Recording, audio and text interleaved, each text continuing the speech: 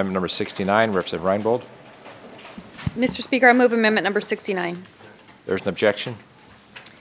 Basically, um, what this does is it gets rid of 262,000, it reduces the budget by $262,000. And uh, this is from the Criminal Justice Commission uh, staff that was created in Senate Bill 64.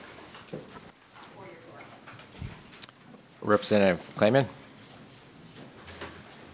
Thank you, Mr. Speaker. I rise in opposition to Amendment Number 69. The, the funding for the Alaska Criminal Justice Commission is a, the Criminal Justice Commission is an entity that has been created by this legislature with the task of doing research and analysis and providing an evidence-based method for going forward and looking at ways to improve public sa- safety and use our public safety dollars more wisely and more effectively so that we are improving public safety for all Alaskans, improving how we use our resources for the Department of Corrections and a whole host of things that the Criminal Justice Commission ad- addresses on a regular basis and, and provides reports to this legislature.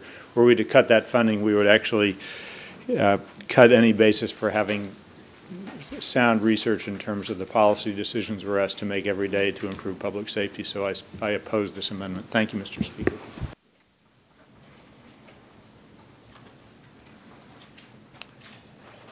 In wrap-up, Representative Reinbold. Thank you, Mr. Speaker. I'm going to go after public, improving our public safety in every mechanism that I can think of. This criminal justice, some people are calling it Criminal Injustice Commission, worked very passionately, very strongly, very closely with the outside organization Pew, Pew Foundation, which has heavy lobby in, in our halls. Some of the recommendations, if you look at them from 2015 and 2016, are really shocking. Some things, such as uh, geriatric uh, parole, even for sex offenders at certain ages. I believe there's eight or nine new pathways for people to get out of jail. The pre-trial risk assessment is a joke in the public's eye, and I passed out a couple different uh, articles just to show. I mean, the people know that this public safety experiment is a complete failure. And basically, all as this does is it gets rid of a couple positions that are supporting where they're already working with outside influence, uh, the Pew organization. And uh, I just think right now it's a complete public safety disaster out there, we need to do everything we can to use. I would much rather have this money go to criminal prosecutions uh, in order to, um, you know, get us on a better public safety path. One thing that was very concerning to me as well is the definition of recidivism. If you look at the definition of recidivism, uh, it's pretty scary. It basically means, you know, people not getting back into jail, but it means convictions. And so it's very important to look at it. That's why they do, they're doing it based on people entering jail.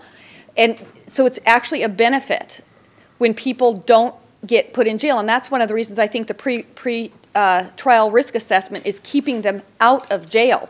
And uh, that's why we have this whole new pretrial system uh, that I tried to get rid of. It may be in a, in a one coming up.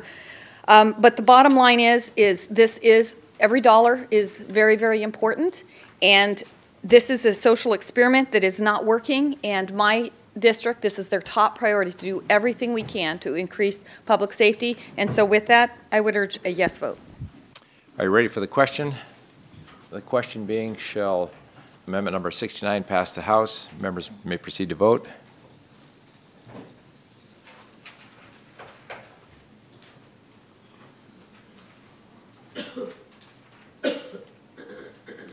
Will the clerk please lock the roll?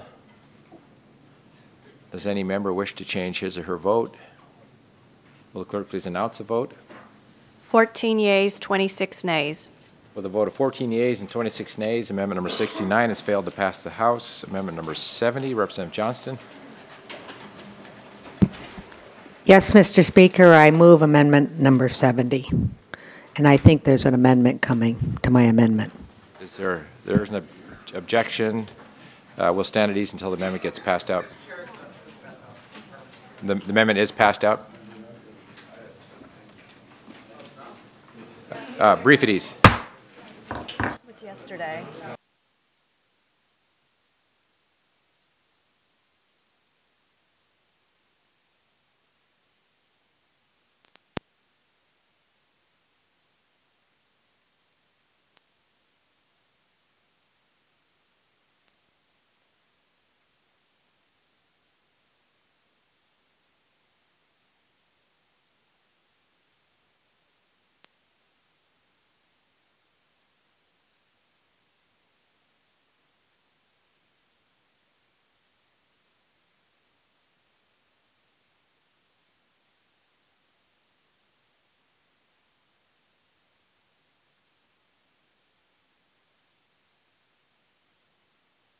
Will the House please come to order? Representative Gara, Thank you, Mr. Chair. I move amendment number one to amendment number 70. there's an objection.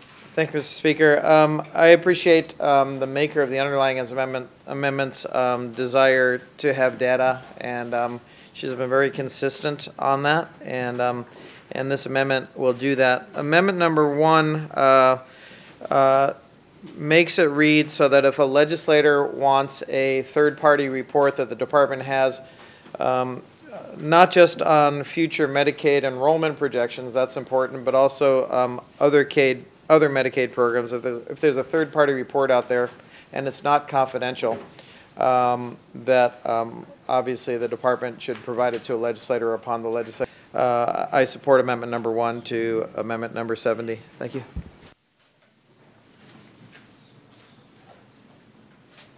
Additional discussion on amendment number one to amendment number 70. Are you ready for the question? The question being, shall amendment number one to amendment number 70 pass the House? Members may proceed to vote.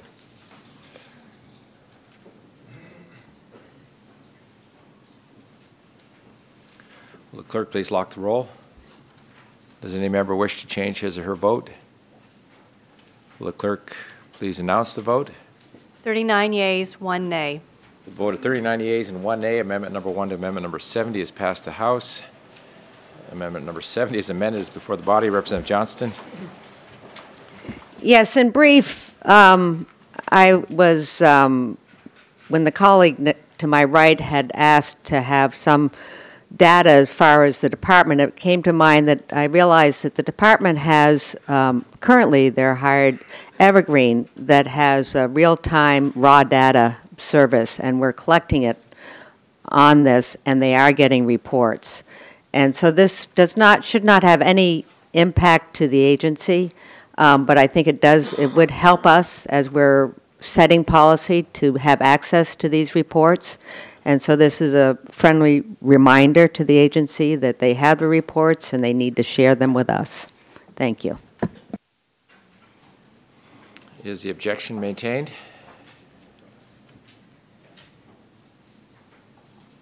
Yes. The objection is maintained. Further discussion? Representative Seaton? Uh, Thank you, Mr. Speaker. I just wanted to clarify that as, uh, as I'm reading this, we are talking about reports uh, that are made, not um, emails, not uh, communications between a third party and the department, because that would be very intrusive and would lead to um, a large amount of um, uh, misinterpretation of, of data. So I just wanted to make sure that we're talking about reports that are generated. Those are reports that are uh, complete reports, not um, just inner, um, uh, between offices and, or between consultants and the uh, interim um, analyses. Thank you. Representative Tilton?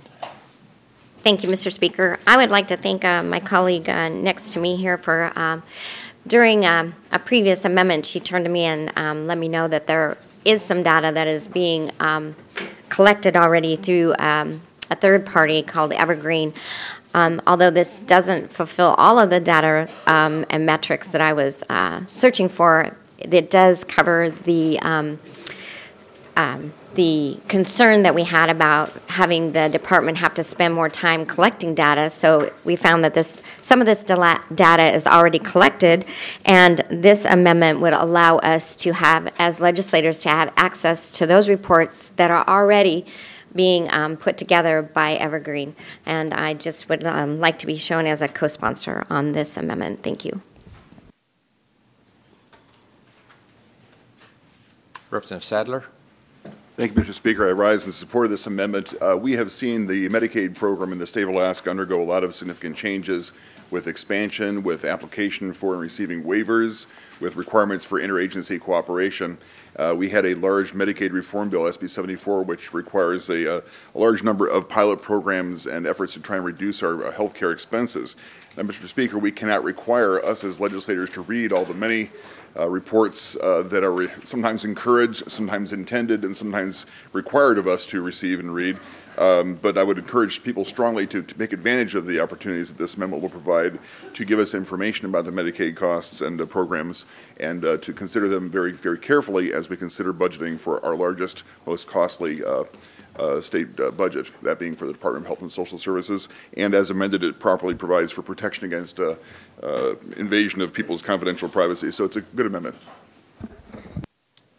Representative Wilson?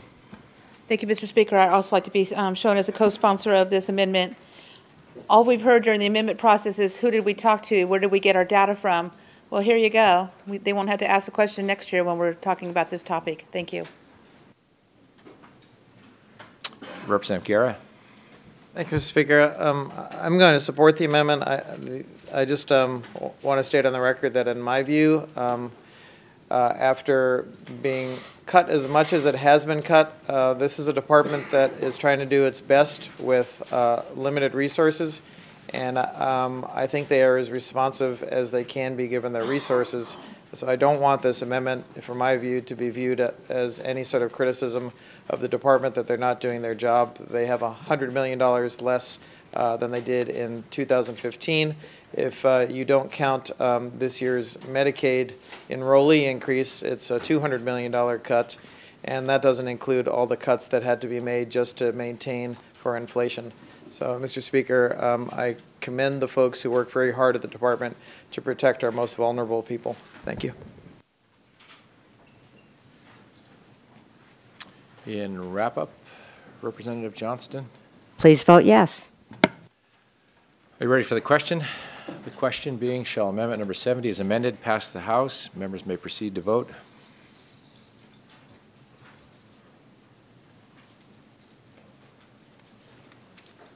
Will the clerk please lock the roll? Does any member wish to change his or her vote? Will the clerk please announce the vote? 39 yeas, one nay. With a vote of 39 yeas and one nay, amendment number 70 is amended, has passed the House. Representative Rauscher?